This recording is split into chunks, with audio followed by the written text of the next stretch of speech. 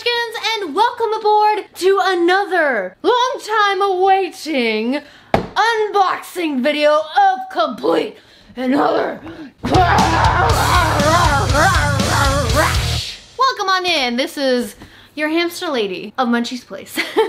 Welcome everyone. Hello there. Headbanging introduction aside, let's get down and dirty with bad cage reviews. This just came out to PetSmart and I've been asked by you guys out there when I'm going to review it. Oh, that, ladies and gentlemen, is today. So after work, I'm really tired. I have a really massive headache. I was cleaning yesterday, unfortunately, on my birthday, and I was cleaning up some mold. So, uh, throat hurts, but today, because of the chaos, that is my channel that uh, we're gonna be reviewing this. Um, the 23 by 18 inches is not adequate space. Hamsters in the United States need at least 450 square inches of floor space as a minimum. However, bigger is better. And at the rescue that I manage here in Washington, that we advertise for Syrian hamsters 600 plus square inches. Now in Germany, I've been told that it's way past 860 square inches, but due to different laws when it comes to countries, as well as what is available in your country versus that of another country, say for instance like the Philippines and or maybe Mexico, there are places that don't have the resources that we have. So lately there's been companies coming out to different parts of the world saying, hey, we have this amazing product and a lot of people love it. It's called Niteangel. We just need more people and more companies to be invested in larger sizes because obviously the demand is there and people are realizing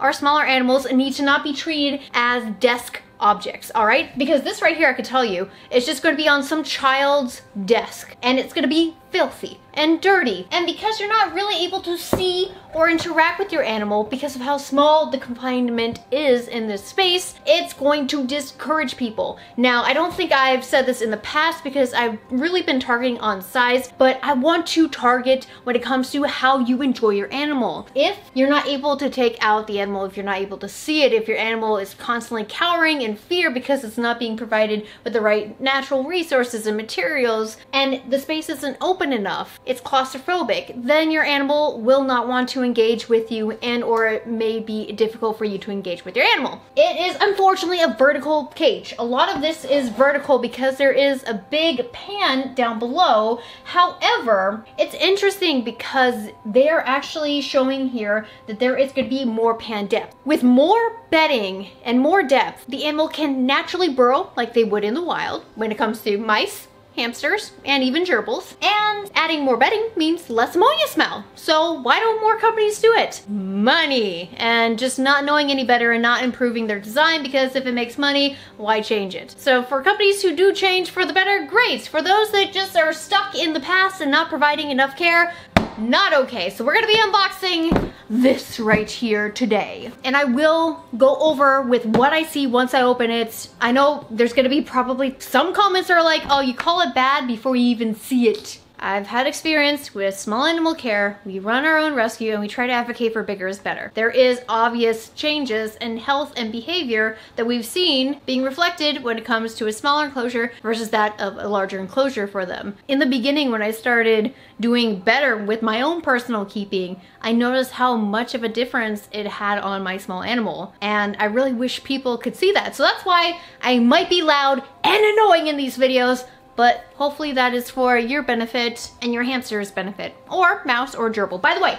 this contains plastic and if any sort of piece in here, say for instance this pad, if this is plastic and there is a knob or a section that they can start chewing around, they will escape. So I would not recommend it for gerbils. It says ideal for hamsters, gerbils, and mice. Cross out that gerbil part. No, do not. Keeps your pet secure while cleaning and then easy access doors. So that's a thing that I have issues with of past smaller enclosures is that you have a tiny door, you cannot stick both hands through it or it's just a struggle. Be sure to observe your pet's behavior with a new item, remove and replace home if it becomes damaged. Now that's good advice because you don't know how many times I've seen people duct tape the Kaytee Critter trails after they break thinking that they're okay. No, it's a really big risk for escaping and I really wish people would take that more seriously. If it is damaged, throw it out. No need to keep it. Don't be a cheapskate, all right? If you were to get a pet, make sure you have the proper funds. If something goes wrong, replace it. If something isn't right, replace it. If you accidentally run out of food or if your food gets moldy, you don't just say, huh, yeah, I'm not gonna feed my animal because I don't have money for this now. No, take responsibility here, all right? I don't wanna be jamming this into your throats, but it's just getting really tiring when people are like, ah, this is just gonna be an easy task, and then they realize,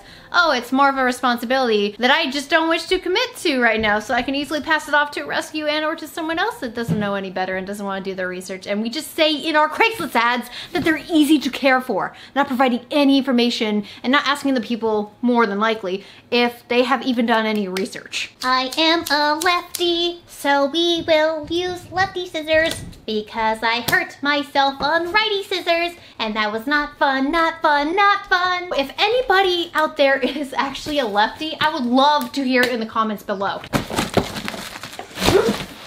Okay, now I see what it is. It's completely wrapped from all sides. Gently. There we go. There we go. Wow, that's actually packaged pretty well. So good job for that, PetSmart. Wow, they actually packaged the wire better.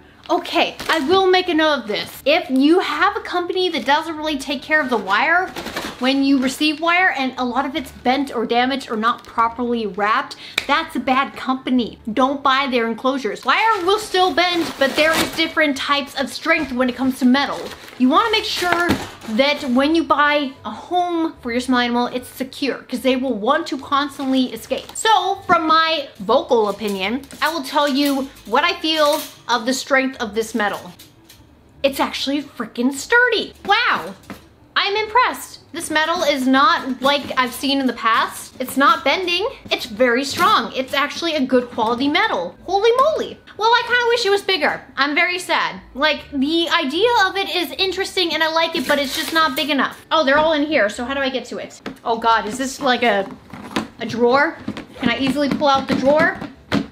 Can I not easily pull out the drawer? How do you, how do you pull out the drawer? In order to get to the instructions inside to even take this apart, you must take this apart without understanding how to take it apart first because the instructions are inside. I moved this flap right here down and now everything comes out. Okie doke, here we go. back and forth instructions right here. So that's the front, that's the back. Because I take too much time and I don't like editing my own videos of which I am the one person to edit these videos with, going to completely ignore the instructions of which I said please follow. You have your base here, which I will now go measure. It's exactly like a plastic drawer, which I guess gives you the vibe of a bin cage, but it's not quite a bin cage. It is exactly six inches high. Actually, this is not turning out to be too bad. Six inches high, but it's still the size of Nike shoebox size. No, don't keep your hamster in a shoebox size. So let's put this back in, pretend I have bedding inside of here. Hamster Wait, did I put this in the wrong way? No, I put this in the right way. No, no, no, get it, get it up. Wait, no, don't put it down. Okay, not yet. Stay there. No, no, no. Stay, stay. I feel like it's stuck for some reason. Why are you stuck? Up here, it needs to go through the slits right here because that's where the ladder is. So there's a hole right in between this right here that I'm supposed to be jamming it into. Here we go. Beep, beep. Do I not activate the ladder? How did it go down before? How did it go down before? Do I pull it out? What? What? Why won't you go down anymore? Oh, you gently push the ladder to the side and it falls down. That's how it secures it. Apparently when you push up, there's a locking mechanism right there. So with my motion, hopefully you can follow what the ladder is supposed to do when it locks and unlocks.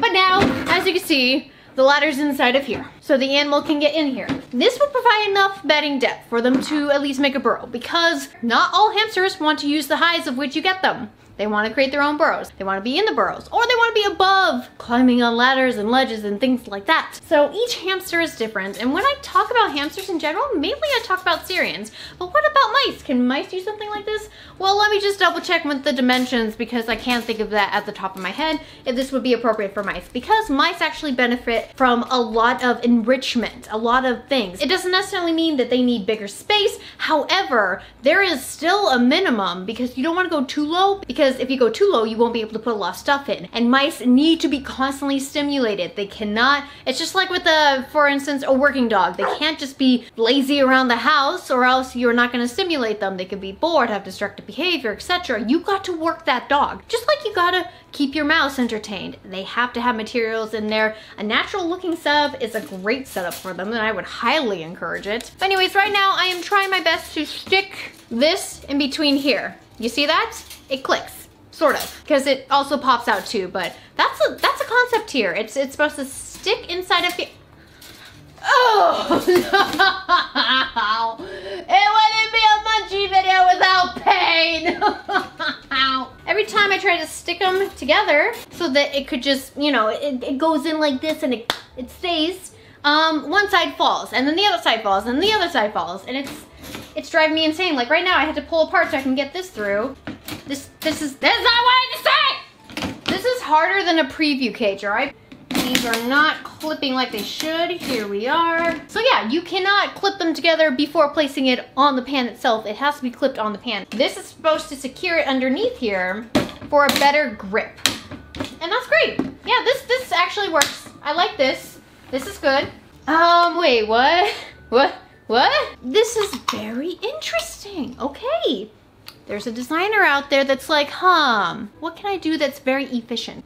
This you stick it inside the hole here. Perfect. However, once I stuck the bottle inside here, I feel like you can easily push it out. And that's the thing, the hamster's going to try their best to move stuff out of the way. So if I could easily detach that from the sides there, and there's no security afterwards, it's just a push in and pull out, and because this is plastic too, this can easily, just over time, not work. So I'm curious to wonder if there is going to be stoppers available for this enclosure where people don't want to use this because it will be flawed in the future, even though it is pretty ingenious right now. I, I, I do see flaws in this. I hope it's possible to actually stop that. Otherwise, it's just gonna be an open area. And I'm also wondering too if Kaytee stoppers would work for that because there are some cases where the tiny tails can work with Kaytee stoppers. And I actually recommend Kaytee stoppers over tiny tails because tiny tails is made out of rubber. Hamsters easily chewed that up and escaped. This is just a lazy way of putting a bunch of seed mix in here and not having to deal with it. Um, what you should be doing is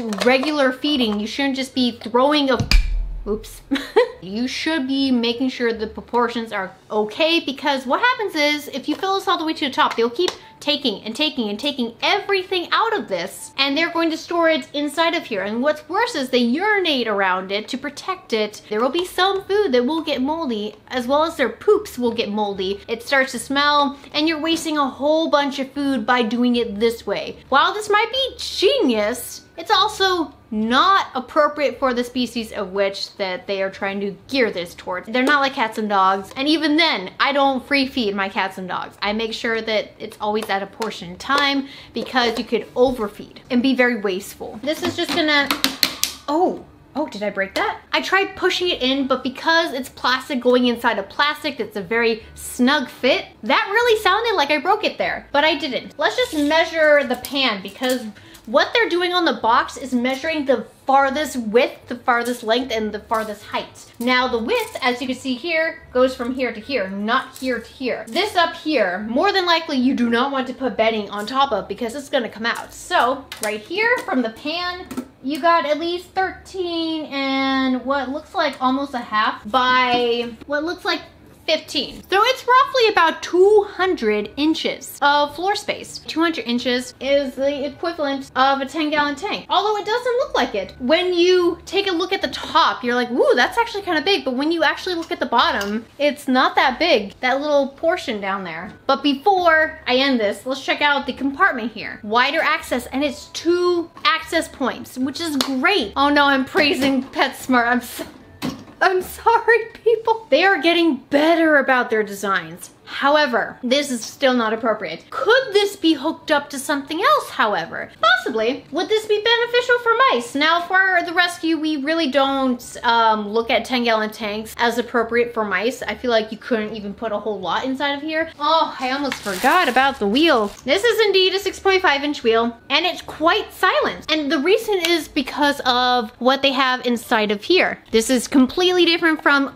traditional styles where there is this big pointy knob and because of the way that's designed, the big pointy knob actually slides with the wheel itself back and forth, which causes noise to happen. It feels great.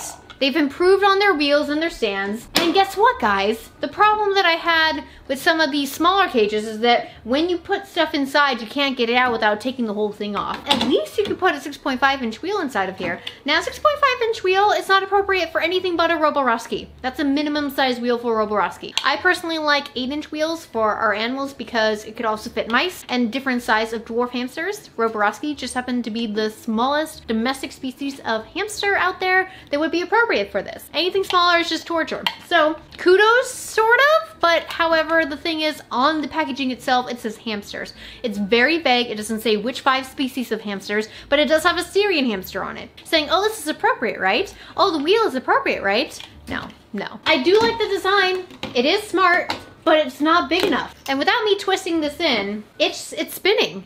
Can, can you see that? Hopefully you guys can see that. It, it's spinning and it's silent and it's working and there's no screeching or rubbing against the the metal, it's actually working. You're gonna be disturbing your animal every time you wanna take it in and out. Now the problem is, is that you have to raise the ladder first in order to remove the tub. So if you're trying to interact with your hamster below, you can't do that unfortunately. That's the only downside. So if your hamster's up in this area, great. You would have to go like this and try to get in here like that, or you just have to raise your ladder back up, which actually, how do I raise the ladder up without pinching? Oh, that's how. There's actually a knob right at the bottom, which I'm sure hamsters will chew up this knob too. This knob right here, you help to pull it up and latch it.